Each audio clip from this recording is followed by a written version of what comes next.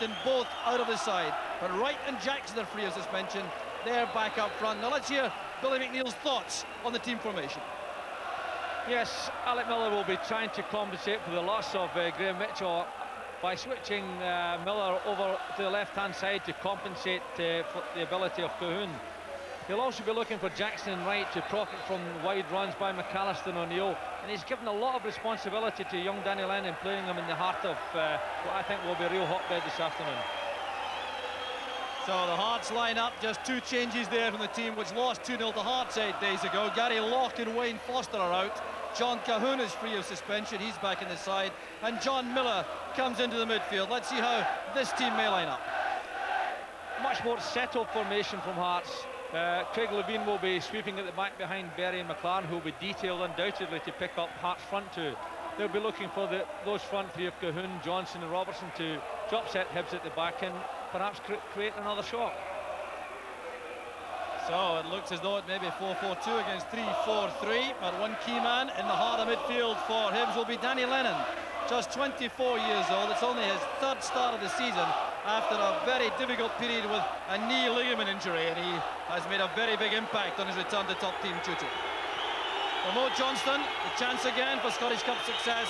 He was in the Celtic winning side of 1985. In a forward line was Red, Provan, McStay, Johnston, Burns and McGarvey. How Celtic would welcome that sort of forward line today. The referee, Les Mottram from Wilson Town, who was a candidate for the World Cup finals in the USA in the summer. So some discussions going on there. Craig Levein sorting out who should be having the kick-off. It will be Hearts who start the match playing down the famous Easter Road slope. Uh, Hibs will be happy about that because they like to play downhill in the second half. So we're underway with Hearts trying to get the ball forward early. Johnston going up there and looking very quickly around the team formations. Alec Miller clearly has tried to disrupt things as little as possible. And indeed, Willie Miller has started out right back. And the left back position is being occupied here by David Farrell with Bowman and Tweed in central defence. Yes, that's right. I've noticed that immediately. And obviously Alec Miller is trying to disturb his team as little as possible after Graham, with Graham Mitchell being out. And Farrell has been given the responsibility of looking after Colquhoun, which will be a big responsibility this afternoon, I would think. So there's Dave Beaumont's header in central defence, winning number three. A bit of jostling there in the middle of the field. John Millar is penalised. These are always tense opening minutes in the match. Nerves jangling throughout the players' ranks. Need this settling in period. And of course, if either could strike an early blow, could be in the heart of that Hibs defence. Growing in maturity this season. Here he is in possession. Becoming more and more assured with the ball at his feet also. Looking there for the front men. Kevin McAllister has gone roving. He's gone straight through into a forward position early in the match. Here's Michael O'Neill, halted by McKinlay. That's for Johnston. He's inside David Farrell, supported by Colquhoun.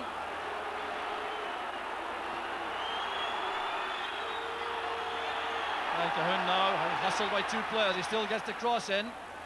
Here comes McKinlay. Fine play by McKinlay. And the opening goal for Hearts is scored by John Robertson. Two and a half minutes on the clock. And the hammer of Hibs does it again. A brilliant finish here by John Robertson. It's his ninth goal of the season. It's a lovely piece of skill by Tosh McKinlay there.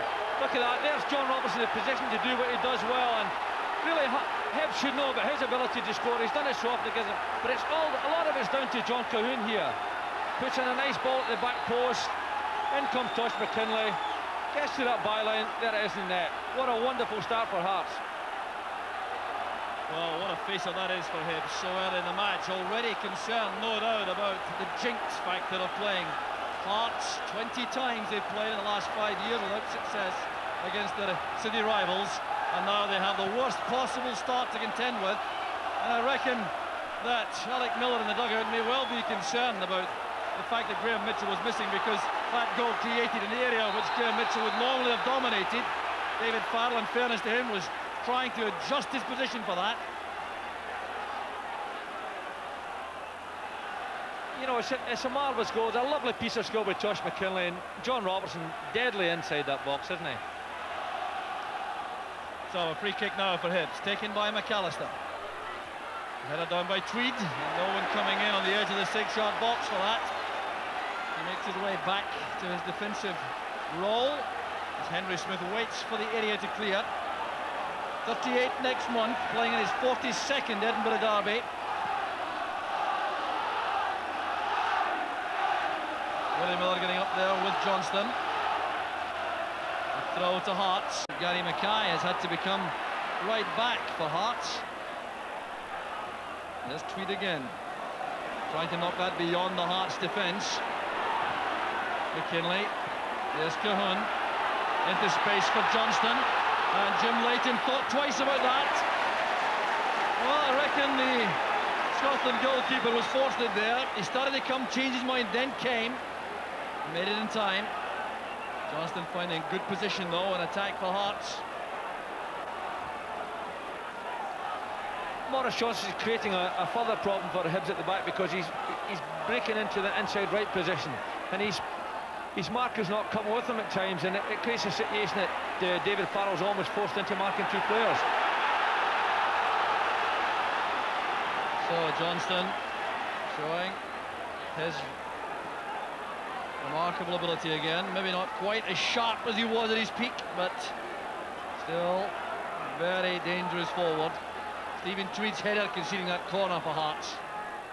Near post ball, it's Johnston who's there. Up goes Levein. Clearance from Jackson, not very decisive, but the free kick goes to Hibs. Bit of bumping and barging inside the area. Alan McLaren, the player penalised. He's being spoken to by the referee. I didn't think there was a lot in it in actual fact, although there, uh, big Stephen Tweed comes up, does what a centre-half should do, gets himself up and gets the ball out the area. I think that's going to be important to Hibs at the minute because they've got to try and set themselves down, try and organise themselves as positively they can at the back and make sure they don't lose another goal. Well, Miller was quick there ahead of Hamilton. Header back by Beaumont. That's McLaren. Again, Hearts keen to get the ball on this right flank for Colquhoun. O'Neill. This is Beaumont. Tweed makes himself available square. Closed down by Johnston.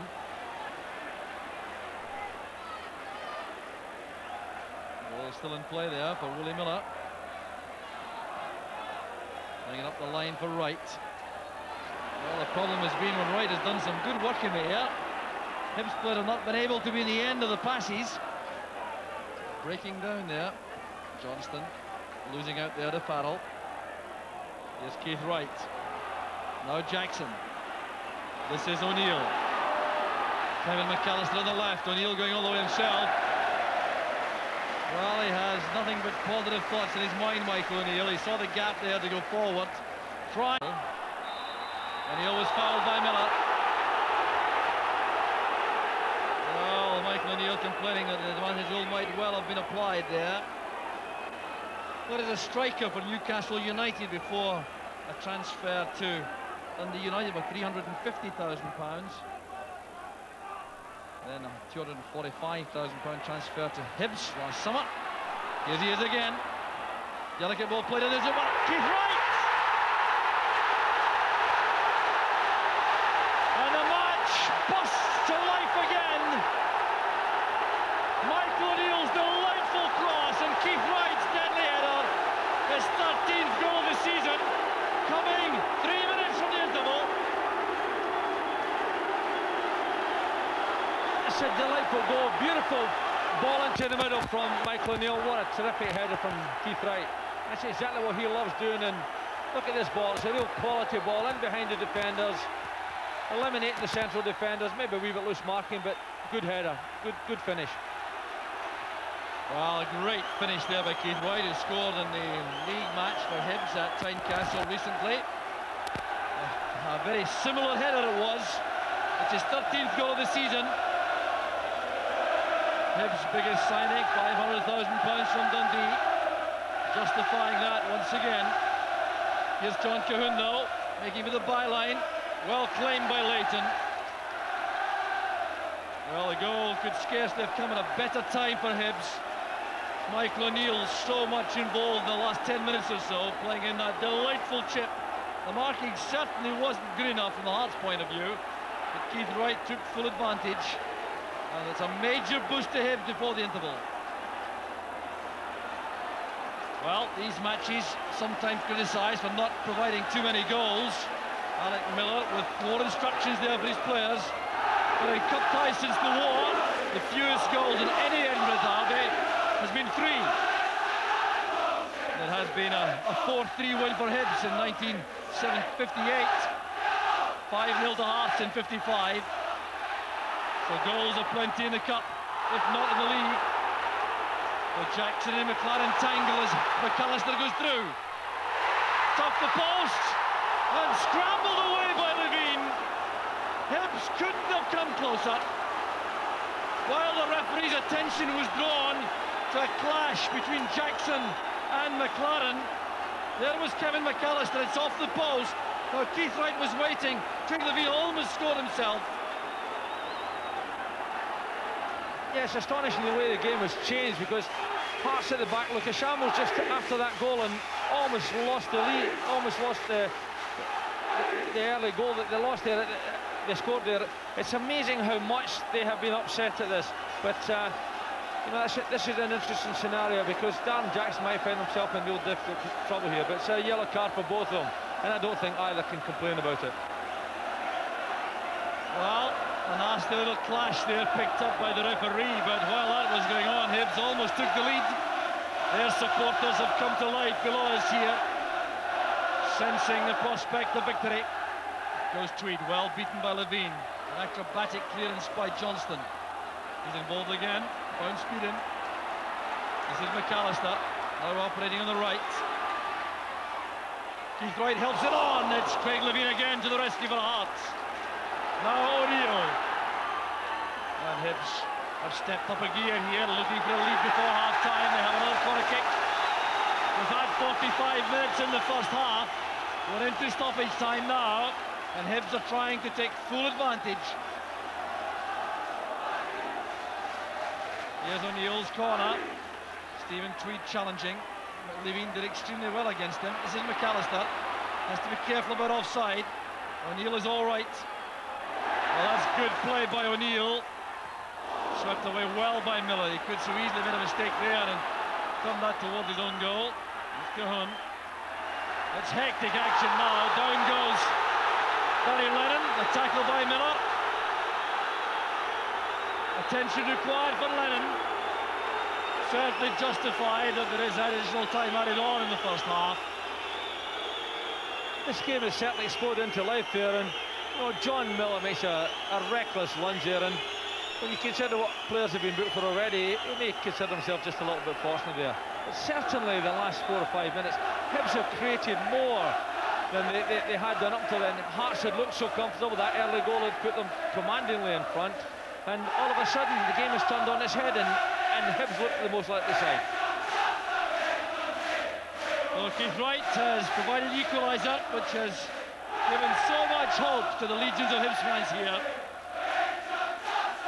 So it's Michael O'Neill over this free kick with a minute and a half of additional time. Headed on there by Berry. Cross goes Stephen Tweed. Tackled by McLaren. Then by McKinlay.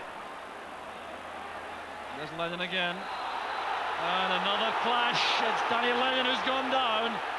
John Robertson, the culprit. Oh, the referee giving the free kick to Hearts, it would appear. And he's not happy about Stuart Colley's arrival on the field to look after Lennon again.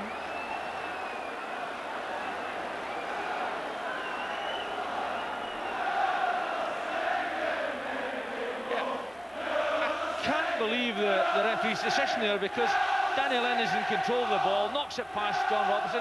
John Robertson, I don't think tried to, to foul him, but couldn't get out of his way and certainly was obstructing him. But uh, the referee, for some unknown reason, has gone the opposite way with his, with his decision. Well, Billy, one goal apiece. How do you think the balance of play is now for the second half to come? Well, um, Hearts were so comfortable after that early goal. Hibs had hardly posed a threat, but all of a sudden Michael O'Neill exploded into the action. He's been the he's been the motivator behind most of the attacks that, that Hibs have mounted in this last five or ten minutes or so. And I think, considering the chances they have created, they can deservedly say that uh, the scoreline doesn't flatter them. So, last three minutes of stoppage time in the first half. A late opportunity in the first half for Hearts. That's Willie Miller's clearance. Darren Jackson back in defence, lashing the ball clear. And that's the last action of a hectic first half. It's burst. And Hibs playing their favourite way. The floodlights have come on as the gloom descends. And Darren Jackson there, number 10, with Keith Wright, the front two, ready to start the second half. So the Tennent's Scottish Cup fourth round tie, the Edinburgh Derby, goes into the second half. And Hibs undoubtedly with renewed hope in the light of that good finish the first half. Hearts will be anxious to settle quickly, get back to the pattern of play which was so successful for them for so long in the first half. There's Kevin McAllister battling back well on the left, opening the second half in the same position as he occupied for the bulk of the first half, wide in the left. An area where Hibs won, Hearts won, been that way since the 42nd minute of the match. Derry's clearance. Hamilton to Miller. That's good play by Miller. Now Lennon. Nimble play also. Back here with Beaumont. Not the kind of service Kevin McAllister likes. Especially against Jim Weir, who's such a good central defender. Here's Foster. Using his pace. A chance to win the game for Hearts. He's done it! It's Wayne Foster's first goal of the season, and it surely won the tie for Hearts. Right out of the blue, sheer joy for these Hearts supporters. And Sandy Clark on now, four minutes left, he says. Concentration required. And Wayne Foster is being booked for going to the Hearts supporters. But what a good finish this was. Well, this is exactly why Sandy brought him on. His pace is always a threat at the back, but his composure's good there as well because he takes his time. He knows exactly where Jim Leighton is. Here we see the initial pass, which splits the Hearts defence, uh, the Hibs defence, uh, just for about the first time this half. And there he is, he takes it well, steadies himself and places it past Jim Leighton. Crucial time to score a goal. Well, now, can Hibs come back? Wayne Foster, what a time to score his first goal of the season. Looks all set to win this Edinburgh Derby, the cup tie. A quarter-final place beckoning, and Foster has turned out to be the super sub. The noise you hear now coming from Hearts supporters. There's Tweed on to O'Neill, and the referee has given a free kick for offside against Hearts. And Hibs will be certainly very concerned that one simple ball through the middle should have opened them up like that. Perhaps a lapse in concentration. But they may well have to suffer dearly for it. And the irony also is the fact that the goal for Hearts comes at a stage when Hibs have been doing so well. Warwick Miller checking his watch, realising that time is running out rapidly. Michael O'Neill's header. Led away by Craig Levein.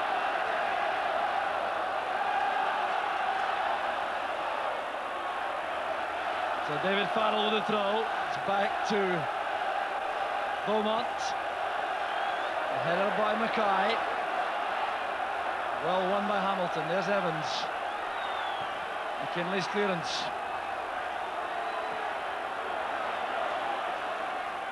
David Farrell climbing out to win that, and Jim Weir thumps that ball into the enclosure. Well, now the Supporters are totally stunned. It looks like game number 21 without a win against their deadly rivals. Well, that tells the story, that picture of the Hibs supporters. A second half which Hibs have largely dominated But the result of all that is they've got a goal behind. Can they save the game? Here's Kevin McAllister. Queuing up in the middle, and still at 1-1 kindly. Michael O'Neill couldn't get on the end of that. Stephen Tweed and Keith Wright were challenging for the initial ball. It's a, a good ball into the middle here, but there we see the real scramble for the ball, and big Stephen Tweed should have got a better connection there, I think, because he had the opportunity to put it between the posts here, just doesn't quite get up, doesn't jump his height, doesn't direct his header. We're into stoppage time now at the end of the game. It looks as though Hearts are through the quarter-final. Unless we're in for a remarkable finish. They won't, that's it! The referee ends the match! Wayne Foster goes to the Hearts supporters again. Having been booked already, that would be foolish. Greeted by John Keohane. The Hearts supporters celebrate. The jinx for Hibs continues. They just can't seem to find a way to beat Hearts in these derby matches.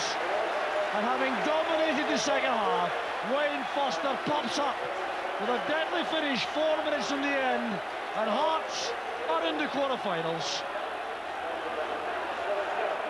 Well, Gary Mackay, a hero here for Hearts also. Billy, your heart must go out, surely, to Alec Miller. Well, that's right. Uh, I think he obviously worked very hard at half-time. His team got the break of that goal just before half-time.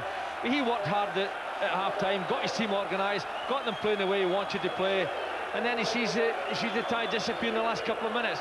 That little lack of concentration at a crucial time. You've always got to watch your defenders, keep them on their toes, Wayne Foster's pace. You've got to say to Sandy Clark, great substitution, Sandy. You took a chance. It was a brave decision, but it came for you.